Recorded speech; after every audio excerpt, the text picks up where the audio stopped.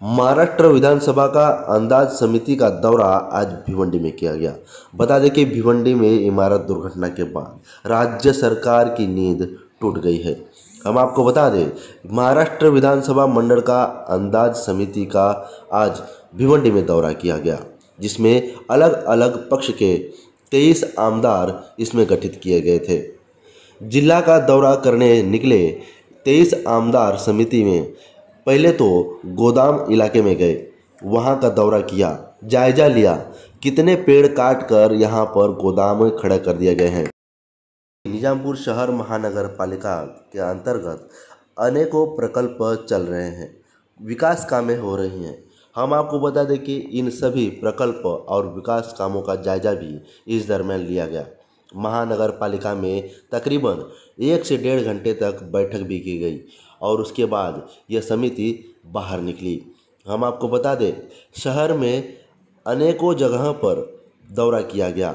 सदर समिति का जो दौरा है, यह भिवंडी थाना के ज़िले में किया जा रहा है। साथ ही में पालघर का दौरा भी इस समिति कर रही है।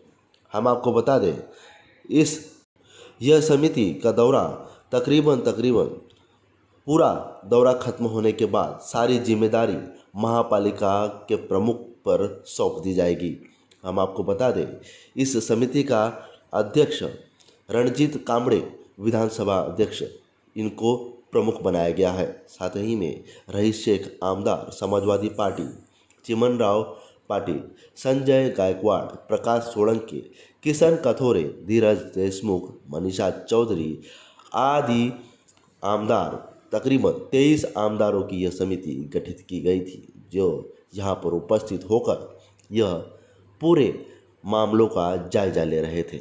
बता दें कि भिवंडी निजामपुर महानगर पालिका की जब बैठक यहाँ पर लगाई गई, उस दरमियान भिवंडी निजामपुर शहर महानगर पालिका की ओर से एक बुकलेट तैयार किया गया था।